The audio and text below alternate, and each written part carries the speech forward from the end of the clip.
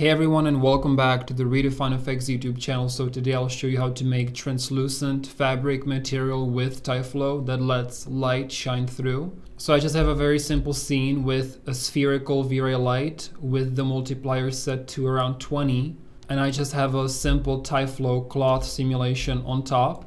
So this is what it looks like rendered right now, just very dark, no light going through. So what you can do in your material editor is just add a V-Ray two-sided material. And now we have some simple options for front and back material and to control the translucency of the fabric. So I'll just make another V-Ray material here. And let's just make it pure red for now to make it obvious how this works. So I'll set the red material as my front material and let's apply this two-sided material straight to Tyflow. And here you go, right? So it's already working beautifully and the light is shining through the red fabric. And you can click on this translucency square and this is how you control how transparent it is. So pure black is not transparent at all. Pure white means completely um, transparent and you get something in between.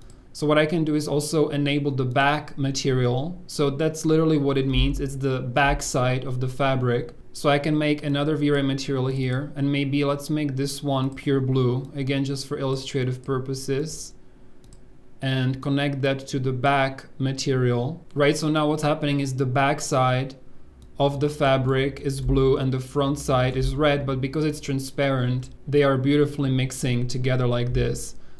So I can again control the translucency to control the strength of the effect to get some very cool results. So now if you want to control how reflective maybe the cloth is, you can always just go back to the front and back material and adjust the settings so I can boost the reflectivity of the cloth, maybe reduce the glossiness a little bit, right? I'm getting some nice reflections on the cloth and I can do the same thing for the backside uh, material as well. And just to get some nicer materials, I'm gonna open the V-Ray uh, material browser here and use this curtain BO1 material. So just right click and say apply to selected objects.